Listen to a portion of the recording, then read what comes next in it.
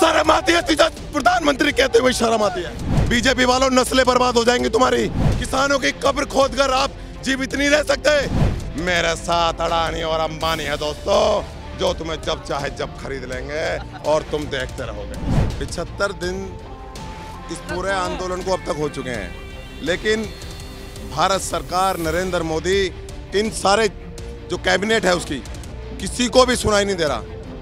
और ये मानकर सरकार बैठी हुई है कि छोटा मोटा आंदोलन है। मैं उस, आपके माध्यम से बताना चाहता हूँ, भारत सरकार को, नरेंद्र मोदी को खासकर, क्योंकि नरेंद्र मोदी, अमित शाह, इस पूरी पूरी सरकार को चलाने वाले यही दो लोग हैं, जो पूरी पूरी सरकार को चला रहे हैं। और पूरी सरकार को गलत तरीके से चला रहे हैं, यही दो लोग हैं। मैं इन दोनों इन दोनों को, लोगों को कहना चाहता हूँ कि अमित शाह जी, क्या तुम्हें शर्म आती है नहीं आती थोड़ी बहुत? प्रधानमंत्री नरेंद्र मोदी जी, क्या तुम्हें शर्म आती है नहीं आती थोड़ी बहुत? अगर थोड़ी बहुत शर्म बची है तो थोड़ा सोचो, दिमाग से सोचो। इस देश का किसान अपने अधिकारों की लड़ाई लड़ रहा है। इस देश का किसान 130 करोड़ के लोगों के अधिकारों की लड़ाई लड़ रहा है। किसान अपने व्यक्तिगत तौर पर अपने लिए नहीं बैठा हुआ। किसान अपने लिए ना तो आरबीआई का कोई खजाना मांग रहा है, ना किसी अलग देश की मांग कर रहा है। किसान अपने अधिकारों की मांग कर रहा है, जो उसकी ज़रूरत है। आज़ादी के आज़ादी से लेकर अब तक किसानों के लिए जो भी सुधार लाने चाहिए थे कृषि के अंदर, वो नहीं लाए गए। हमेशा किसानों की फ़सलों को इस तरह खरीदा गया जैसे किसान फ्री में उगाता है। आए दिन किसान की फ़सलों को फ़सलों को उगाने के लिए उसको बहुत ज़्यादा समस्या का सामना करना पड़ रहा है। उसका डीजल महँगा हो रहा है, उसका खाद महँगा हो रहा है, उसकी दवाइयाँ महँगी हो रही हैं, उसका मजदूर महँगा हो रहा है, उसका पानी महँगा हो रहा है, उसकी बिजली महँगी हो रही है। क्या नरेंद्र मोदी कृषि मंत्री को दिखाई नहीं देता कि किसान अपनी जो फ़सल को किस किस रूप में, किस, किन परिस्थितियों में उगा रहा है? क्या इन्हें, उन्हें सोचने का मौका नहीं मिलता? हमेशा अपने अपने अपने आप को नरेंद्र मोदी मीडिया के माध्यम से अपने आप को भगवान साबित करने में लगे हुए हैं। प्रधानमंत्री नरेंद्र मोदी ये दिखाना चाहते हैं कि मुझसे मुझसे बड़ा और मुझसे अच्छा कोई दुनिया में पैदा ही नहीं हुआ। मैं प्रधानमंत्री नरेंद्र मोदी जी को बताना चाहता हूँ, दोस्त। प्रधानमंत्री जी, आपने एक एक करके सारी चीज़ें बेच दी इस देश की। कुछ नहीं बचा। सारी चीज़ें बेच बेच दी आपने। और सारी चीज़ें बेचकर आपने अपने चंद पुती चार पाँच लोगों को मुहैया करा दी है। और मुझे शर्म आती है विपक्ष पर। हमारे देश का जो विपक्ष है, कांग्रेस सबसे बड़ा विपक्षी दल है। वो चुप बैठा हुआ है। अगर आज विपक्ष कमज़ोर है तो आज किसान सड़कों पर है। अगर विपक्ष में ताकतवर होता तो शायद आज ये दिन देखना नहीं पड़ता। वो दिन जब भाजपा विपक्ष में थी, तब दस रुपए की महँगाई होती थी तो कांग्रेस ये भाजपा वाले नंगे होकर सड़कों पर आ जाते थे। लेकिन आज विपक्ष चुपचाप बैठा हुआ है। पेट्रोल, डीजल, गैस, जितने भी खाद्य पदार्थ हैं, खादान है, सब्ज़ियाँ हैं, सारी चीज़ महँगी हो चुकी है इस देश के अंदर। लेकिन किसी को कोई मतलब नहीं है। सरकार को तो कोई मतलब ही नहीं है। लेकिन विपक्ष भी कहीं ना कहीं सो रहा है। और जो छोटा मोटा विपक्ष अगर वो आवाज़ भी उठाता है तो उसे देशद्रोही पाकिस्तानी अरबन नक्सली जैसे किसानों को बोला जा रहा है। इस तरह से उनको बोलकर उन्हें चुप कर दिया जाता है। ये कब तक चलेगा? मैं नरेंद्र मोदी को बताना चाहता हूँ। सुन लो नरेंद्र मोदी जी। प्रधानमंत्री अब पाँच साल के लिए बने, पाँच साल के लिए और बन गए, लेकिन 500 साल के लिए नहीं बने आप। किसानों की कब्र खोद कर आप जीवित नहीं रह सकते आप ज़िंदा नहीं रह सकते आप जिस हिसाब से किसानों की हत्या कर रहे हैं 200 मौत पर मौन बैठे हुए हैं आप। 200 200 किसान मर चुके हैं अब तक। लेकिन तुम्हारे तुम्हारे मुँह से एक शब्द नहीं निकलता। मन की बात करते हो आप। आप मन की बात करते हो मन की बात में किसान के लिए दो शब्द नहीं है तुम्हारे पास। दुख होता है मुझे बहुत ज़्यादा। है हमारे देश का प्रधानमंत्री जिसकी क्रिएटिबिलिटी होती है। आज तुम जो बोलते हो लोग सोचते हैं सारा झूठ बोल रहा है। तुम्हारे शब्दों में बिल्कुल भी विश्वसनीयता नहीं बची अब। दुनिया का सबसे ज़्यादा झूठ बोलने वाला प्रधानमंत्री नरेंद्र मोदी इस देश का है।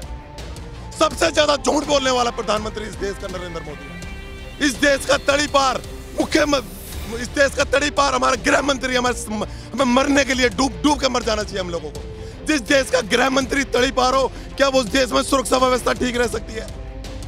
उस देश का मन चैन कायम रह सकता है क्या? भाइयों भाइयों को लड़ा दिया आपने। हिंदू मुसलमान कुत्ते बिल्ली की तरह लड़ रहे हैं। नफरत कर दिया आप लोगों ने हमारे हमारे अंदर। कभी दलितों के नाम पर लड़ाते हो, कभी जाट के नाम पर लड़ाते हो, कभी मुसलमान के नाम पर लड़ाते हो। पूरे देश के अंदर आपने बुरा हाल कर दिया है। आक्रोश पैदा कर दिया तुमने। बचा कुचा किसान था, किसान को भी नहीं छोड़ा आपने। किसान को भी बेच ही दिया इस चंद पूंजीपतियों के हाथों में, किसान को भी बेच दिया आप लोगों ने। एकता शर्म आती है नरेंद्र मोदी। शर्म आती है तुझे प्रधानमंत्री कहते हुए शर्म आती है। तेरे जैसा नीच प्रधानमंत्री आज तक नहीं देखा मैंने। शर्म आती है प्रधानमंत्री कहते हुए भी। 200 किसानों की हत्याओं पर ना बोलने वाला प्रधानमंत्री मेरे मुँह से भी प्रधानमंत्री कहते हुए शर्म आती है। किसान को मार दिया तुम लोगों ने। किसान की वैचारिक, आर्थिक नीतियों के साथ खेल रहे हो आप लोग। पूंजीपतियों को उनके उनके भविष्य को बेच रहे हो आप लोग। शर्म आती है तुम लोगों को। वो कहाँ गया वो कैबिनेट? कहाँ गया जो किसानों की बात करने किसानों की वोट पे लेने वाले वो सांसद? क्यों नहीं बोलता विपक्ष? क्यों नहीं बोलता सांसद? कहाँ मर गया साहब कहाँ मर गए सारे राजनीतिक दल? किसानों पर वो गोली तान रहे हैं। किसानों को आतंकवादी कह रहे हैं, किसानों को नक्सली कह रहे हैं। कितना बुरा हाल कर दिया तुम लोगों ने देश का। सारे भाइयों को लड़ा दिया तुमने पूरे सारे पूरे देश के तार तार करके रख दिया पूरा देश तुमने। 130 करोड़ की आबादी वाले मुल्क को तुमने बर्बाद करके रख दिया, नरेंद्र मोदी, बर्बाद करके रख दिया तुम लोगों शर्म आती है तुम्हें प्रधानमंत्री कहते हुए। पिछहत्तर दिन हो गए हैं, नरेंद्र मोदी को एक काले कानून वापस ले ले। इसी में भलाई है, नहीं तो नस्लें बर्बाद हो जाएँगी तुम्हारी, ध्यान रखना। बीजेपी वालों, नस्लें बर्बाद हो जाएँगी तुम्हारी। अगर ये तीन काले कानून नहीं लिए हुए तुम्हारी भूल है। अगर ये भूल करके बैठे हुए हो कि ये काले चंद लोग बैठे हुए हैं, कुछ लोग बैठे हुए हैं तो ध्यान रखना। इस देश के अंदर ऐसा इतिहास रचा जाएगा कि बीजेपी वालों को वोट देने वालों को भी तुम्हें वोट देने वाला नहीं मिलेगा, ध्यान रखना प्रधानमंत्री जी ने बोला था कि एक एक कॉल पे हम बैठे हुए हैं। कहाँ है वो नंबर? कहाँ है वो नंबर, प्रधानमंत्री जी? यही मैं कह रहा हूँ, इतना झूठा प्रधानमंत्री, इतना झूठा, इतना मक्कार प्रधानमंत्री पूरी दुनिया में नहीं मिलेगा, दोस्तों, पूरी दुनिया में नहीं मिलेगा।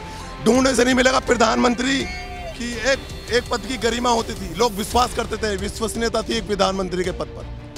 लेकिन इस प्रधानमंत्री ने एक गरिमा जो एक विश्वसनीयता थी, आज एक प्रधानमंत्री कुछ बोलता तो बिल्कुल भी लगता नहीं कि प्रधानमंत्री सच बोलता झूठ निकलता उसके मुँह से जब भी तक। मैं आपको बता दूँ, कई सारी डिबेट में, आपको नहीं पता, नाइन टीवी, आज तक, एबीपी न्यूज़, इन सारे चैनलों पर टिका साहब ने बोला है कि प्रधानमंत्री जी हमें नंबर तो दो, कृषि मंत्री जी हमें नंबर तो दो। कौन से नंबर से बात करें? हमारे नंबर को तो सार्वजनिक कर दिया तो माँ बहन की गालियाँ देते हैं उस पर लोग। ये भाजपा वाले जो हमारे किसानों के नंबर हैं किसानों की हेल्पलाइन है, उन पर ये गाली गलौज करते हैं, उन पर अभद्रता करते हैं। लेकिन प्रधानमंत्री एक बार अपने नंबर तो सार्वजनिक करें। सार्वजनिक मत करो, कम से कम टिकट साहब को दे दो, कम से कम वो तो बात कर ले। प्रधानमंत्री के अंदर दम है तो करके दिखाए, प्रधानमंत्री। वो तड़ी पार अमित शाह करके दिखा दे एक बार। सर जी, वार्ता नहीं है, जलील करते हैं ये। हमारे किसानों को बुलाते हैं वहाँ पर जलील करते हैं। ग्यारह बार की वार्ता होगी क्या ऐसी वार्ता होगी सोल्यूशन ना निकले? क्या इससे पहले कानून वापस नहीं लिए गए क्या इस देश के अंदर? ऐसे इन कानूनों में है क्या जो सरकार वापस लेने के तैयार नहीं है? आखिर ऐसा क्या है? आखिर ऐसा क्या है कि सरकार इसको कानून को वापस नहीं ले रही? कहीं ना कहीं लोचा है ना? क्या प्रधानमंत्री गिरवी रख चुका है क्या अंबानी के यहाँ पे? क्या गिरवी है क्या प्रधानमंत्री वहाँ पे? क्या क्या कमिटमेंट हुई है? क्या क्या समझौता हुआ है वहाँ पे? पूंजीपतियों के साथ प्रधानमंत्री का? बताए प्रधानमंत्री नरेंद्र मोदी बताता क्यों नहीं है? सर जी, किसानों की यही मांग है एमएसपी पे कानून बना दो। और ये अधिकार में है, उनका अधिकार क्षेत्र में है। क्या क्या किसान को अपनी जो जो उसकी फ़सल है, जब आप डीजल बढ़ा देते हो, यूरिया बढ़ा देते हो, दवाइयाँ बढ़ा देते हो, बिजली बढ़ा देते हो तो क्या किसान की फ़सल नहीं बढ़नी चाहिए? नमक दो हज़ार, उन्नीस सौ बयानवे में पाँच रुपये का नमक था, टाटा का। आज बीस रुपये का हो रहा है। देख, कितनी मूल्य वृद्धि हुई है, बताइए आप। जो कॉरपोरेट की चीज़ें हैं, वो तो वो तो आसमान छू रही हैं, लेकिन जो किसान उगाता है, उसको कोई मतलब ही नहीं है। अगर आप बीस रुपए गन्ने पर बढ़ा देते हो तो हेडलाइन मत है, किसानों के एक कुंटल पर बीस रुपए की बढ़ोतरी। अरे बीस रुपए से क्या हो रहा है? और आप छह हज़ार रुपए दे रहे हो, छह हज़ार रुपए दे रहे हो, आप किसको दे रहे हो छह हज़ार रुपए? आप आप मीडिया हो, आप गाँव में चले जाओ, दो हज़ार की आबादी अगर सौ लोगों को भी अगर पैसे मिल रहे हो, उसका ऐसा ढोंट पीटा जा रहा है। किसानों को भीख दे रहे हो आप। किसानों को ना छह हज़ार की ज़रूरत है, ना दस हज़ार की ज़रूरत है। किसान को उसकी उसकी फ़सल का उचित मूल्य दे दो, आप बस बात खत्म। अरे मन की बात भाई। देखो, ये डरपोक, कायर और नाकाम प्रधानमंत्री है। ये मन की बात ही करेगा। अगर इसके अंदर औकात है ना, इसकी हिम्मत है तो यहाँ मंच खुला पड़ा है किसान का। यहाँ जाए हमारे सामने और यहाँ करके दिखाए मन की बात। हमारे भी तो मन में है। हम भी अपनी मन की बात करेंगे इससे। यू ही करना चाह रहे हैं मन की बात, हम भी करें मन की बात। दोनों की हो जाएँगी मन की मन की। रात को आठ बजे रात को आठ बज गए। भाई और बहनों, मेरे देश की 130 करोड़ की जनता, मैं एक बात कहना चाहता हूँ। भाई और बहनों, मेरा एक ही धर्म है, मेरा एक ही मैं बात करना चाहता हूँ आप लोगों से। भाई और अरे मेरा भाई और बहनों, चुप हो जाइए। भाइयों बहनों 130 करोड़ लोगों से मैं एक वादा करना चाहता हूँ। मैं तुम 130 करोड़ लोगों का सौदा करना चाहता हूँ, भाइयों बहनों, राज़ी हो क्या? मैं तुम सबको बेचना चाहता हूँ, भाइयों बहनों, में बेचना चाहता हूँ सब लोगों को। और मुझे मुझे तुम्हें खरीदने वाला ग्राहक भी मिल गया, भाइयों बहनों। उसका नाम है अंबानी और अडानी। भाइयों बहनों, ये आपको उचित मूल्य देगा। आपको बढ़िया तरीके से खरीदेगा। आपको कभी भी किसी तरह की दिक्कत पैदा नहीं होने देगा। मैं 130 करोड़ की जनता से मैं आपसे वादा करना चाहता हूँ भाइयों बहनों। भाइयों बहनों क्या बिकने के लिए तैयार हो क्या? अरे भाइयों कैसे बैठे हो? बोलिए बिकने के लिए तैयार हो क्या? बिकने के लिए तैयार हो क्या? अरे भाइयों बहनों ये नहीं चलेगा। अगर आप बिकने के लिए तैयार नहीं हो गए तो भाइयों बहनों मैं पुलिस वालों से कहकर और ये जितने भी मेरे वो लोग हैं देशद्रोही आप लोगों को साबित करके आपको जेल में डलवा दूँगा। तब तो बिकोगे। तब तो बिकोगे, नहीं बिकोगे। और भाइयों, बहनों, मेरे पीछे सचिन तेंदुलकर है। मेरे पीछे कंगना रावत है। मेरे पीछे अक्षय कुमार है। तुम्हारे पीछे कौन है, बताइए। बताइए, मैं आपसे पूछना चाहता हूँ, बताइए कौन है बताइए कौन है आपके पीछे। कोई है क्या? कोई है क्या? कोई नहीं है, भाइयों, बहनों, कोई नहीं है तुम्हारे साथ। मेरे साथ अडानी और अम्बानी है दोस्तों। जो तुम्हें जब चाहे जब खरीद लेंगे और तुम देखते रहोगे मेरे लिए ये ये देश कोई वैल्यू नहीं रखता कोई मूल्य नहीं रखता। मैं जब चाहूँ इस देश को बेच सकता हूँ मैं सेना को भी बेच सकता हूँ किसान को भी बेच सकता हूँ।